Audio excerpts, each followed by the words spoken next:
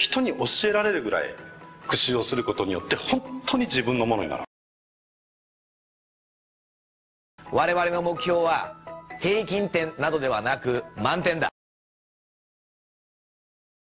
公式なんていうのは忘れたって導けると。頭には知識はあるの。あとは訓練と引っ張り出す練習とスピードの問題です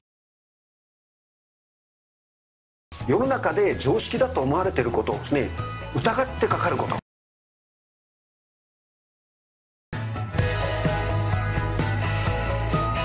現役合格メソッド東進ハイスクール。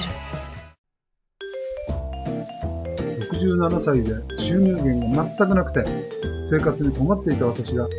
インターネットだけで営み以上の生活ができるようになった方法年金だけでは生活が苦しい人パート収入では足らない人子育てシングルマザー副収入が欲しい人そんな人は今すぐ